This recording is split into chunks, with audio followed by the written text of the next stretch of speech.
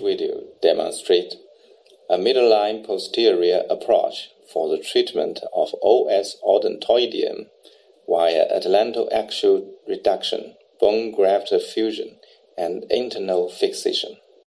This is a 50 year old man suffering from four limbs numbness and weakness for about two years. And the physical examination found a decreased sensation to pinprick of the skin and an increased muscle tension of the forelimbs. Preoperatively, anterior instability was noted on flexion X-ray examination. No instability was noted on extension X-ray. The sagittal CT scan showed a dystopic OS odontoideum. The MRI demonstrated that a dramatic compression of the cervical spinal cord and abnormal high signal intensity area in this region. The patient underwent a posterior approach for the treatment of this lesion via atlantoaxial reduction, bone graft fusion, and internal fixation. The patient was put into a prone position with a Mayfield head frame, and the incision length was about 6 cm along the middle line. After incision of the skin, the subcutaneous tissue was cut by the unipolar electric knife strictly along the middle line in order to reduce the amount of bleeding. And then we exposed the posterior arch of C1 and the laminar of C2 by subperiosteal dissection. And then we can see the spinous process and the vertebral plate of axis.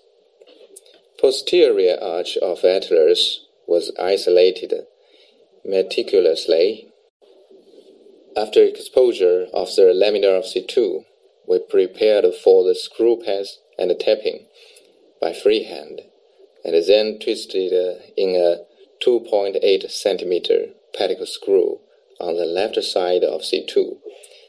Then the same procedure was performed on the other side. And then we prepared for the screw pass in C1 through arch by using a high-speed grading drill. It is very safe by using a high-speed grading drill to make a pedicle screw pass in C1. We grasped the posterior arch of C1 using forceps in order to prevent its compression to the spinal cord during the twisting of the screws. The same procedure was performed on the other side. After the four screws were placed in the right place, the lateral X-ray indicated that the C1 and C2 were still in a dislocated position. Then we placed the rod and compressed the screw tails of C1 and C2, little by little, side by side. The lateral X-ray confirmed that the joint between C1 and C2 and the odontoid process were in the right position. After that, we prepared the bone graft surface by using low-speed drill to grind the surface of the bone graft bed. The allogenic bone combined with the autogenous bone were put onto the surface of the bone graft bed. The bone marrow blood was spread at the bone graft bed that was drawn from the iliac bone.